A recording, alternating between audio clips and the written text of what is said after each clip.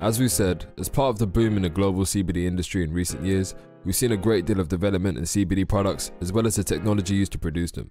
In this video, we're going to investigate how CBD distillate is made as well as some pros and cons.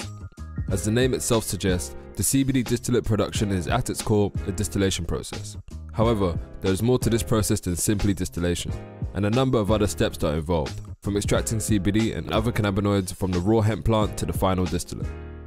The extracted substance needs to go through further purifying and activating processes before it is finally distilled to obtain the CBD distillate. Let's take a look at each step of the process. Number 1 is extraction.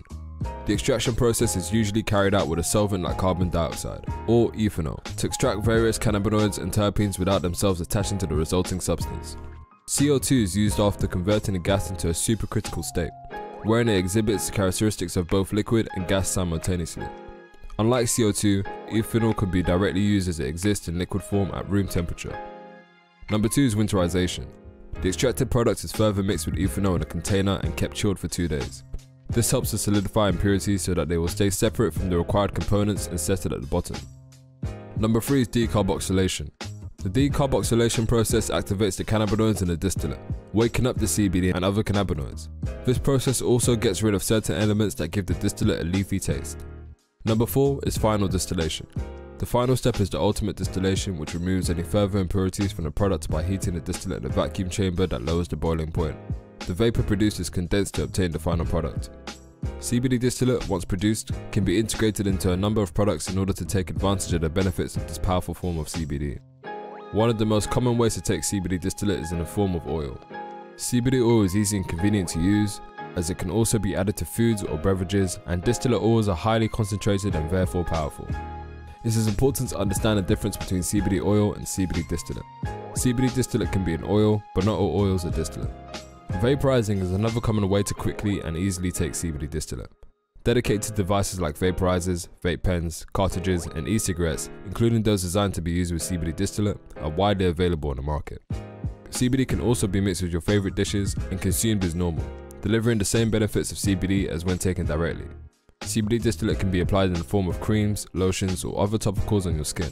You can buy CBD creams and so on already made, or prepare your own topical at home by mixing a distillate with ingredients such as coconut oil. It will be absorbed by the body when you apply it over your skin. Like any process or product, CBD distillate has its own pros and cons.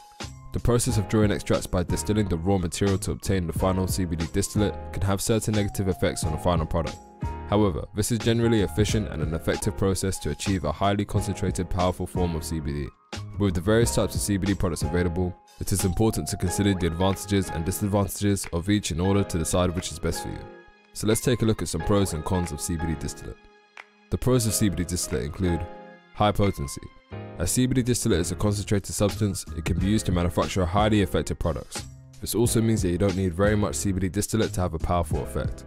CBD distillate is also highly versatile and flexible to use, being generally tasteless and odorless. It can be consumed in various methods and can be easily made into a wide variety of products. You can also get CBD distillate in broad or full spectrum. CBD distillate contains a range of other cannabinoids to deliver the entourage effect, with broad spectrum options having extremely low levels of THC. On the other hand, some disadvantages of CBD distillate may be component degradation. The distillation process can degrade or take away the quality of certain components in a CBD. Manufacturers sometimes add extra terpenes to compensate for the loss as a result of the process. These added terpenes may not deliver the exact effect as naturally occurring ones. Another disadvantage could be the cost of equipment. The production of CBD distillate requires expensive lab equipment, making the end product more expensive than less pure CBD products. Well everyone, we hope you enjoyed today's video. If you're looking for CBD oil, broad spectrum that is, on our website we sell CBD balm, oil and capsules. Expect more videos to come talking about CBD oil, how you should take it and much more.